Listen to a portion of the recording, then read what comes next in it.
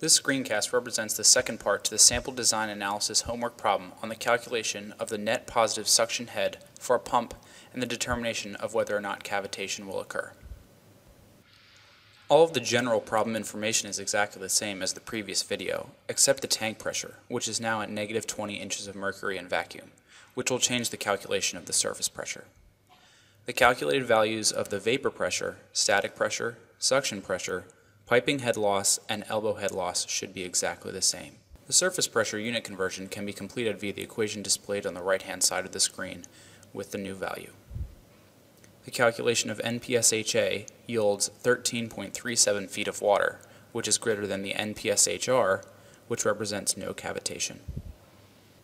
Moving on to the third and final part of this problem, several important problem parameters have changed.